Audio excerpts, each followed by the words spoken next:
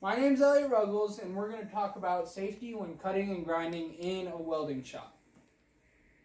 The importance of grinding safety, your health, others' health, and being an asset, not a liability. Your health is obviously the most important when you're in a welding shop, and you got to look out for others when um, you're welding around others and grinding around others.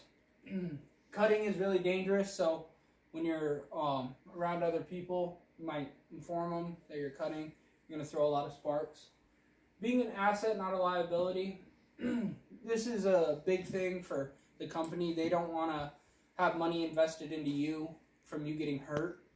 So you got to come in um, really thinking about safety and when you're cutting and grinding. Safety when cutting and grinding. Safety precautions. PPE equipment. Knowing your work area. Visual inspection. PPE is what you wear every day in the welding shop. And that's obviously very important. So you don't catch on fire and you don't get hurt. Uh, equipment. It's just knowing your equipment. Um, knowing your work area.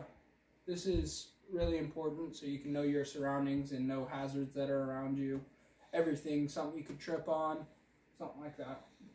Visual inspection, whenever you're working with equipment, know what you're working with and check it out before you use it.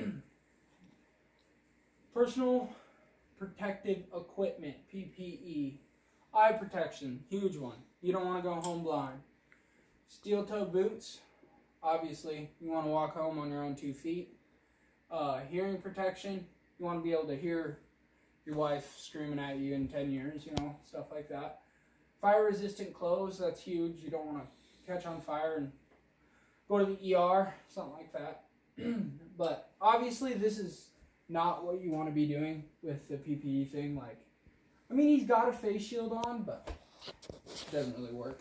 Uh, so when you're cutting and grinding, you want two forms of eye protection. That's safety glasses and then a cutting shield. Uh, steel toe boots. Some uh, shops, they only allow steel toe and then some allow composite. Um, hearing protection. Uh, there's all types of hearing protection and the company should provide that. yep. Uh, okay, equipment there is all types of grinders and uh, cutting wheels and sanding discs and different things you need to be able to know what you're working with. And things change in a welding shop. They move to different cutting wheels and different uh, sanding discs and stuff like that. So you got to know what you're working with. Ask questions to your supervisor. Knowing how to use the equipment is vital to keeping your you safe in a welding shop.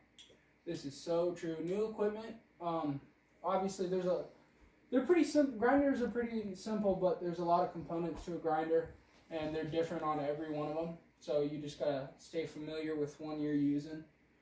Old equipment, obviously grinders get old and they break, and um, with like old cutting discs, you don't want to be cutting with old cutting discs because they'll break and actually throw the cutting wheel around the shop. So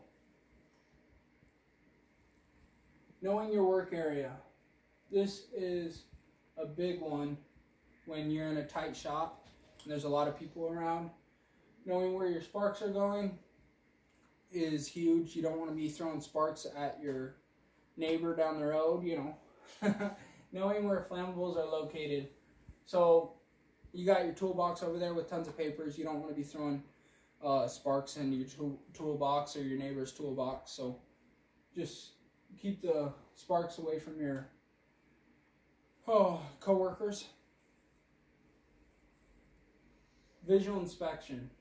Okay, this should happen every time you go in the shop, and even maybe twice a day. When you come in, you might have accidentally clipped your cord, and that uh, you're not supposed to work with that. So don't do that.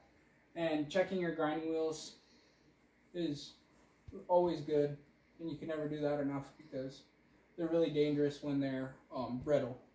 So obviously this is what I was.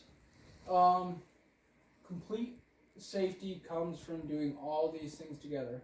If you just do one of these things, you're not going to be safe in the shop. So you have to have all these things together to be um, safe and not be a liability in the shop, like I was talking about earlier.